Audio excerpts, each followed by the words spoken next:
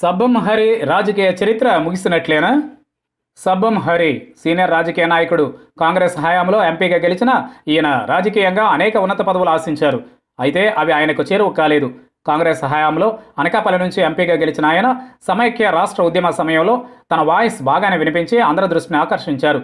YS ఉన్నప్పుడు YS మీద media చర్చల్లో ఏక కూడా వాలనిచ్చేవారు కాదు. ఆ తర్వాత వైఎస్ తనయుడు జగన్మోహన్ రెడ్డికి కాంగ్రెస్ ఎంపీగానే ఉంటూ సపోర్ట్ చేశారు. ఈ క్రమంలోనే రాష్ట్ర విభజన నిరసిస్తూ కాంగ్రెస్ నుంచే బయటకు వచ్చారు. ఈ క్రమంలోనే రెండు వేల పద్నాలుగులో ఎన్నికలకు దూరంగా కూడా ఉన్నారు. ఇక అప్పటి నుంచి రాష్ట్ర రాజకీయ పరిణామాలను విశ్లేషిస్తూ తనదైన ముద్ర వేసుకున్నారు. కొన్ని రోజులు వైసీపీలో చేరేందుకు మొగ్గు చూపినా పార్టీలో నాయకులుంటే పార్టీ అధినేత జగన్కు విలువలు లేవని అందరినీ చిన్నచూపు చూస్తున్నారని వ్యాఖ్యానించి ఆ పార్టీకి దూరంగా ఉన్నారు. అప్పటి నుంచి మళ్ళీ రాజకీయ విశ్లేషకుడిగా అవతారం ఎత్తడం అదే సమయంలో టీడీపీకి అనుకూలంగా వ్యాఖ్యానాలు చేయడం ద్వారా చంద్రబాబు అనుకూల మీడియాలో ప్రచారం పొందారు.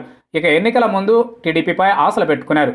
ఆయనే ఈ పార్టీలోకి వెళ్ళారో లేక పార్టీ అధినేతే ఆయనను ఆహ్వానించారో గాని భీమిలి నియోజకవర్గం నుంచి అసెంబ్లీకి పోటీ చేశారు. జగన్ సునామీ నేపథ్యంలో సబ్బం ఓటమి పాలయ్యారు. ప్రస్తుత పర్యాటక శాఖ మంత్రి అవంతి శ్రీనివాస్ సబ్బం హరిపై విజయం సాధించారు.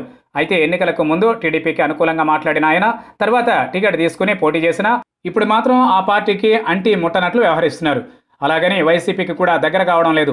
కనీసం ఇప్పటి వరకు టీడీపీ అధినేత చంద్రబాబుతో భేటీ అయిన పరిస్థితి కూడా కనిపించడం లేదు.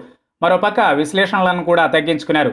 ఎన్నికలకు ముందు వరకు టీడీపీ అధినేతను ఆకాశానికి ఎత్తేసిన ఆయన జగన్పై తీవ్రంగా విరుచుకుపడ్డారు.